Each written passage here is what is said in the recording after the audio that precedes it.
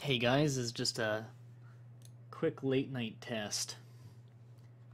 Just to see if this works how I think it's gonna work.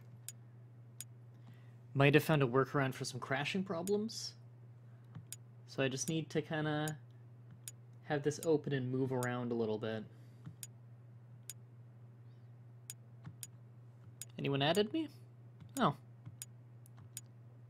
Didn't realize I got some friend requests.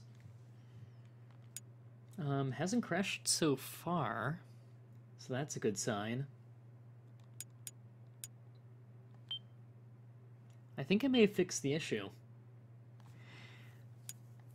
Uh, for any of you wondering at home, um, it seems like if you have open broadcaster software, OBS, and you open up AverMedia's um, RE Center, which is their broadcasting stuff program.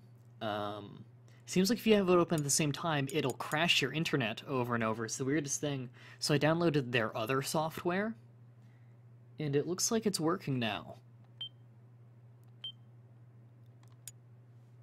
Yeah.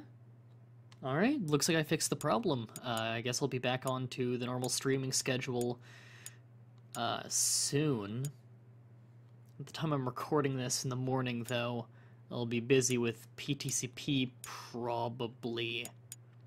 Because it looks like I might have fixed these issues. Alright, well, I guess I might as well upload this to YouTube. Hey guys, if you wanna if you wanna add me on PSN, that's my name right there. Till next time, have a nice day.